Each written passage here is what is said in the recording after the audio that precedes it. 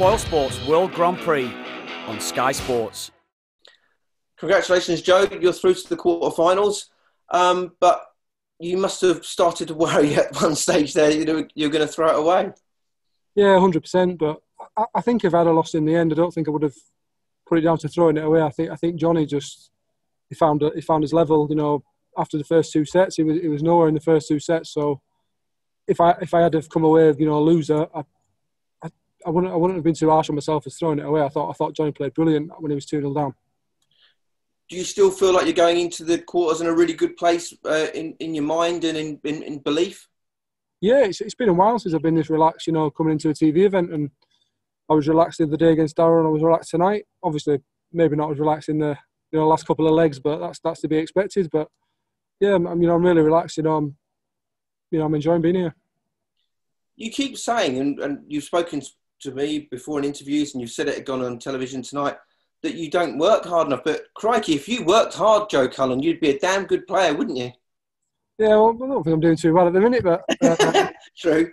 Yeah, I need, I need to. Um, maybe this is the kick up that backside I need. You know, obviously I'm close friends with Devon. He's doing brilliant at the minute, and I, I wouldn't say I'm jealous, but I'm definitely envious. You know, he's he, I know how much work he puts in, and I know he's getting the rewards now. So you know, maybe it's time for me to do the same. Okay, and finally, uh, we seem to remember a couple of years ago you were at the quarters of the match plate and uh, you were scuppered by a fly. Are you fearful that the fly is back, as we've seen one at the Grand Prix? There's, there's a few flies tonight, and I don't even think the flies. You, you, flick them and they don't move. It's, it's, you know, it's it's like flicking a marble. You know, they don't, they don't move anywhere. I don't think they're real flies, but you know, um, I think the flies are the least the worries, to be honest. Okay, well, maybe there's no flies on you, Mr. Cullen, after all. But uh, listen, congratulations and uh, thanks for your time. Nice one. Cheers, Phil. Joe, congratulations on the win tonight. Is this the best you've felt in the Grand Prix? Because all aspects of your game were spot on tonight, fin- starting doubles, finishing doubles, and scoring.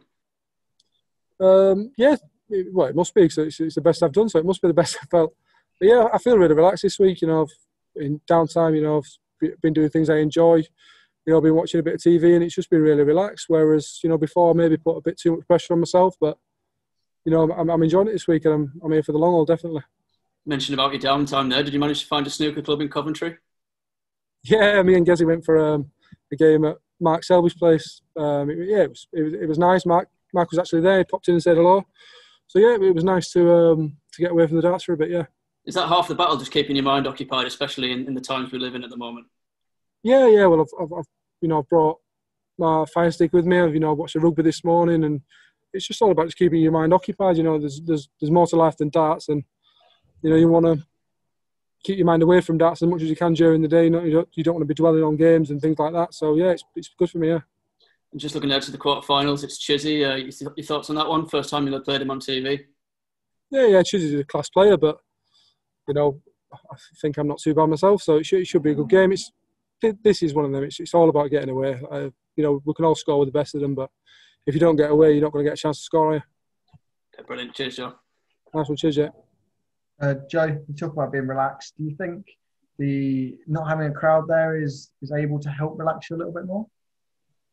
No, to be honest, I've not I've not noticed. It's it's more of a muffled sound anyway, so it feels like there is a crowd there, but there is a, there's still the noise there. So maybe subconsciously it is, it is good for me. But you know, I'd much much rather have you know a few thousand people in here, you know, having a few drinks and enjoying themselves. Definitely.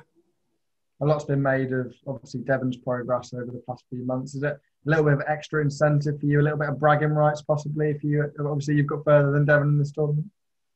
No, but he, he won last week. You know, I'd much rather have you know a winner's paycheck. But if, if, if I win on Monday, it'll definitely be bragging rights then. Yeah.